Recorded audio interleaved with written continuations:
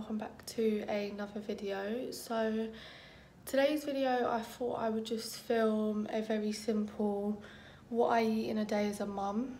Um, if you're a parent you'll absolutely relate that every day is different.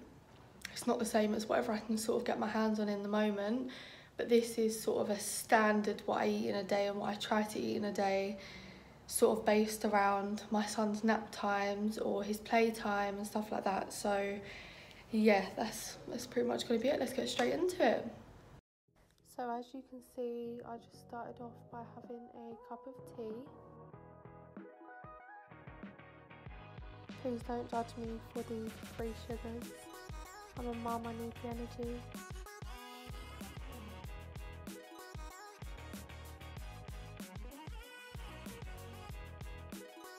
I then made two crumpets with some olive oil butter spread.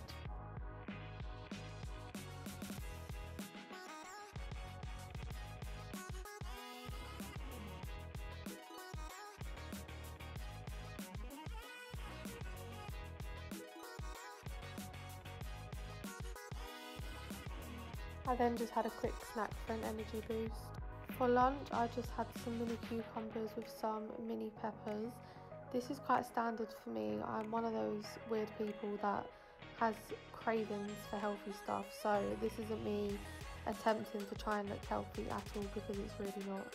I also had a strawberry Actimel with that. I then just had some Sotigel's caramel bar and Oasis citrus punch for a snack.